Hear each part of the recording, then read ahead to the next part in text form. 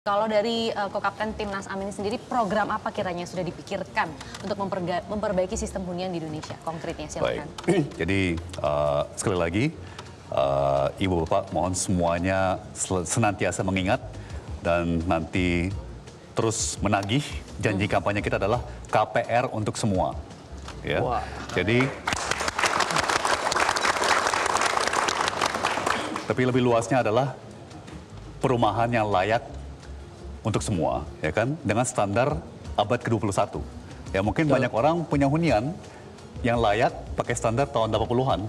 Ya kan, tapi kan sekarang zamannya sudah berubah. Betul. Kita butuh internet, kita butuh listrik dengan daya lebih tinggi. Ya. Kita apa sudah punya gaya hidup yang berbeda, okay. ya kan? Ya, ya, ya. Uh, satu contoh atau dua contoh. Uh mhm. -huh. Pertama tadi yang sudah disinggung Prof. Zulfikar, Perumnas harus dihidupkan kembali. Baik. Ya, Perumnas harus hidup dan dibikin sangat besar Baik. dan sangat uh, maha kuasa, okay. ya kan, sehingga bisa masuk untuk membangun perumahan yang terjangkau ya. dan efisien Baik. dari segi akses, ya kan, ya. Uh, perjalanan uh, dan sebagainya.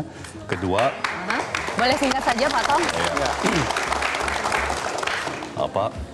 Uh, perbankan akan dikasih target. Baik. Jadi ya, target perbankan ya.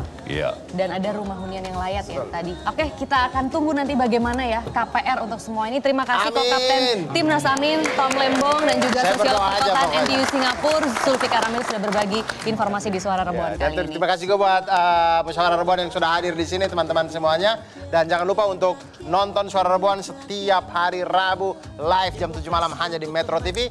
Saya Abdul Arsad pamit. Saya Maria Liziasi pamit. Terima kasih dan sampai jumpa. Selamat malam semua.